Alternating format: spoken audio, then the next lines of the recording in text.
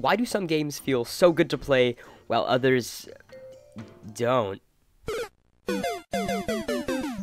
that's because, under the hood, most well-designed platformers make use of a main couple of neat tricks to make the game more forgiving and to make the player feel more in control.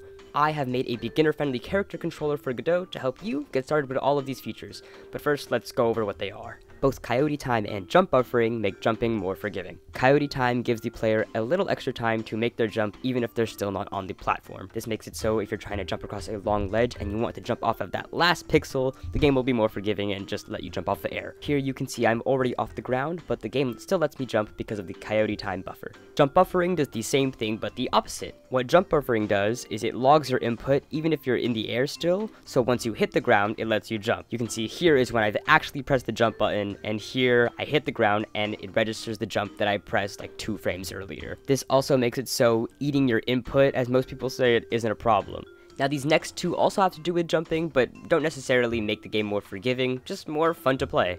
Variable jump height allows the player to control how high they're to jump by changing how long they press the jump button. Without variable jump height, see here, every time I press the button, no matter how long I press it, I'll jump the same height every time. But with variable jump height, if I hold the button, I'll reach max height, but if I just tap it, then I'll go do a little short hop. Another thing a lot of games do something I call fast descent.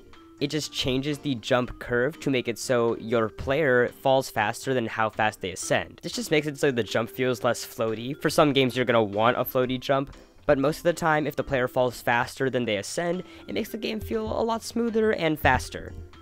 Another feature there is is something that's called corner cutting. Now, that's the Mario Maker speedrunner term. I don't actually know what the real thing is called. But basically, it allows the game to detect if the player is just about to make a jump around a corner. If it is and the player barely misses it, instead of letting the player bonk their head on the top of the ceiling, it slightly nudges them out a couple of pixels so they're allowed to make the jump. All of these features and more are included in my character controller. There's dashing, controlling how fast the acceleration and deceleration of the player is, wall jumping, wall climbing, wall latching, crouching, rolling, and more. If you want to get started with this character controller, all you have to do is download it and then attach it to a character body 2D in Godot, attach the necessary child nodes like, you know, a collider and some sprites, adjust the values, and you're pretty much done. Now this is a beginner character controller.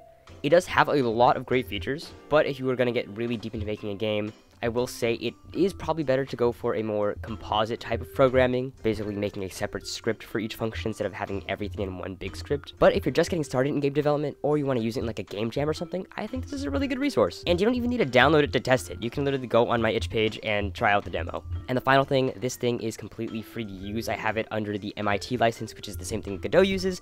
Free, open source. You don't gotta credit me, you just have to put the license thing in the thing for the thing in your game. So yeah, feel free to use it. Maybe drop a like on the itch page on this video, whatever. And yeah, happy programming.